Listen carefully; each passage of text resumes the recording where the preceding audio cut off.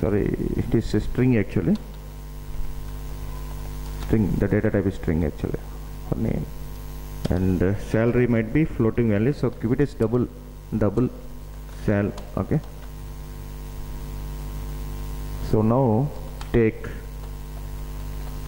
I have declared the instance variables outside the method and inside the class. Public void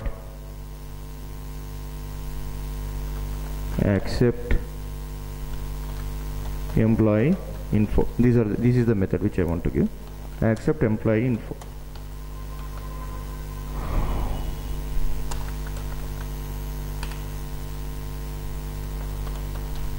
Console dot write line.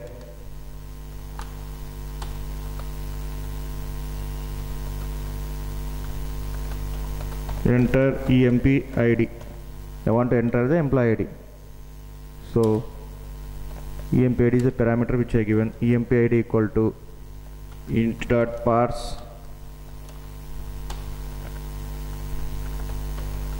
Console dot read line. Emp id and emp name is equal to name I want to give now. Console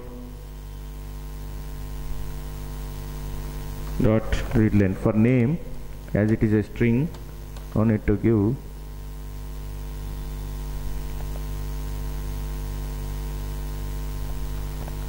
type conversion.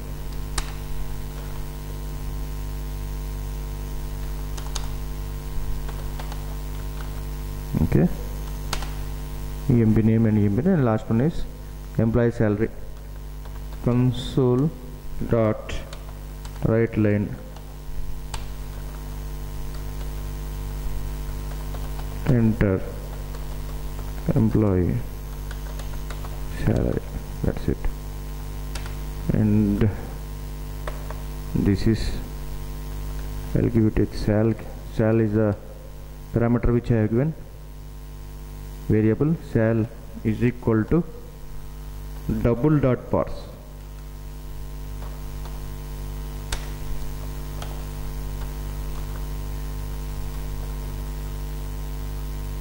sorry console dot. Write line. Double dot parse. Okay. Two variables sal and uh, another method I want to give is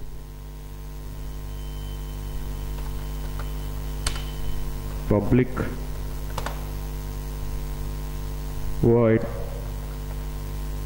display employee info. I want to now display the employee information. These are the two methods which I want to give. Just write console dot write line enter employee name employee ID first.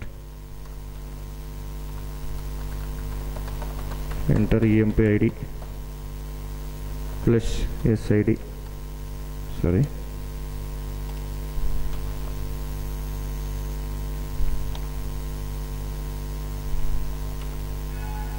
emp okay? Console dot write line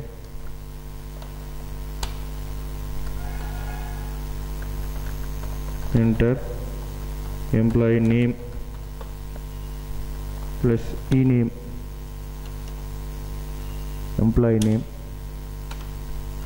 And next is salary. Console dot write line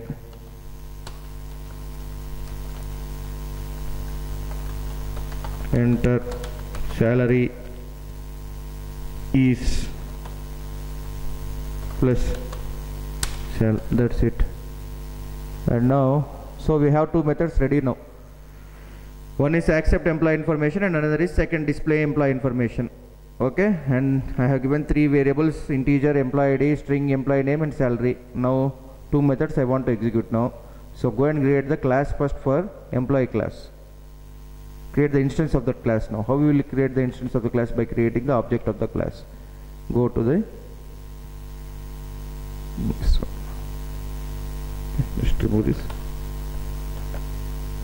How will we create the cla- class? Now employee. That's it. Like this we'll create. Employee emp equal to new employee class. That's it. And now I just want to print that obj sorry cmp dot see accept employee information. Again emp dot display employee information.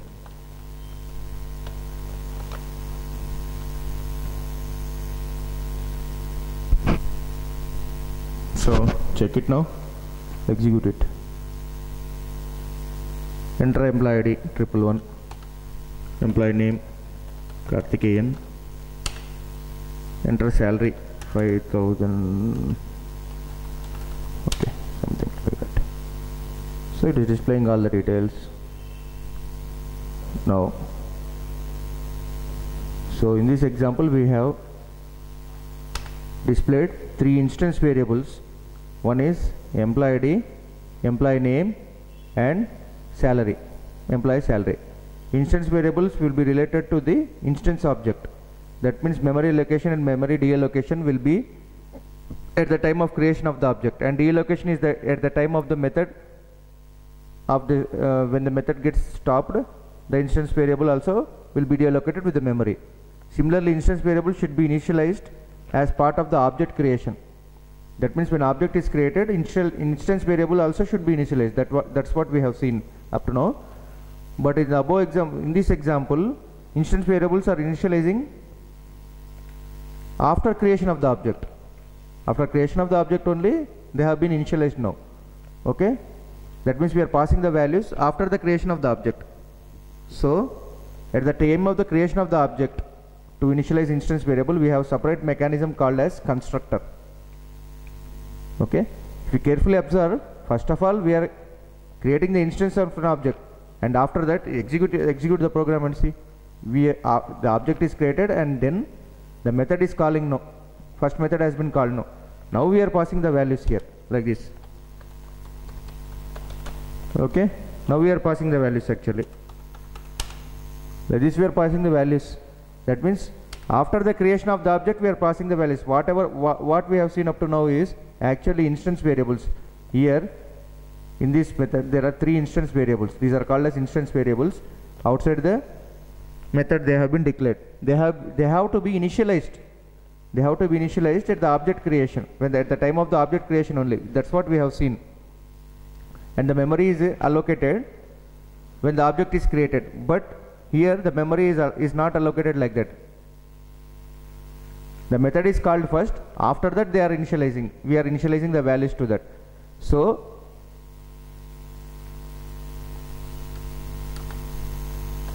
at the time of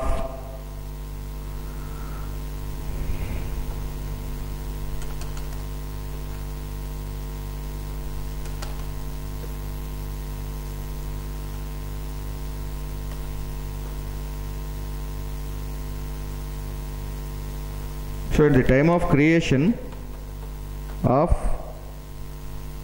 object then to initialize. That means value should be initialized first only. Initialize instance variables. We have a separate mechanism in C sharp.net that is called as a constructor.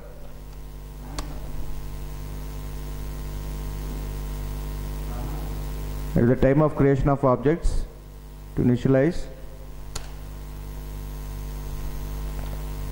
the instance variables we have a separate mechanism in C sharp net. Which is nothing but called as constructor. If you carefully observe in the above example first the method is been calling that is object is created first only after that only we are initializing the values there. Here we are calling the objects first only. We are calling this method. With the help of the method we are calling this we, we are calling the methods here. Okay we are calling the methods. After that only the instance variables whatever the instance variables we have given here? That is employee id employee name and salary are being initializing later at the time of runtime user is entering the values their employee id employee name and salary. But there is a separate mechanism. At the time of the creation of the object itself to initialize the instance variables we have a separate mechanism in C sharp.net called as constructor. This is called as constructor. He is also a member of a class which is a special type of function which will automatically created when an object is created. Okay? Constructor is automatic called when an object is created actually.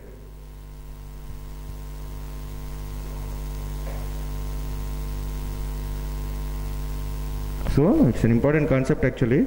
Constructor is a member it is nothing but a member of a class and construction constructors will be invoked invoked or called automatically when an object is created. Constructor will not return any value so it will not have any return type. It doesn't return any value so it doesn't have any return type. This is the importance of the constructor. So it is nothing but it's also a member of a class. Constructor is also a member of a class. That is the importance of constructor. Class name and constructor name should always be same. You have to remember that whatever the class name you have for example if you create a student class the constructor name should also be same. Constructor class student name also be, should be same. If you create a constructor class student name also should be same. Uh, that means for example if we create a student class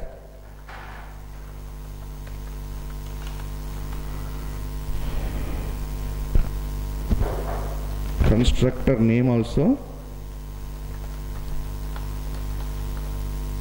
is same. As student only. It will also be student only. And at the time of the creation of the class only it will be called we'll see detailed in the next session how to create this constructor and how to call. So constructor is nothing but it's a, it's nothing but it's a member of a class and it will be invoked automatically when an object is created. When an object is created automatically it will be invoked. Constructor will not return any value. So it will not have any return type. It doesn't have any value. So there is no return type for the constructor.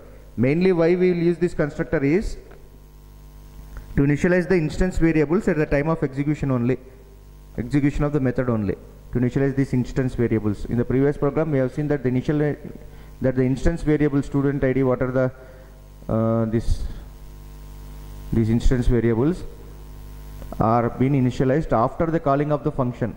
So constructor is not like that. It will load before when the class is uh, it will be called automatically when the class is loaded.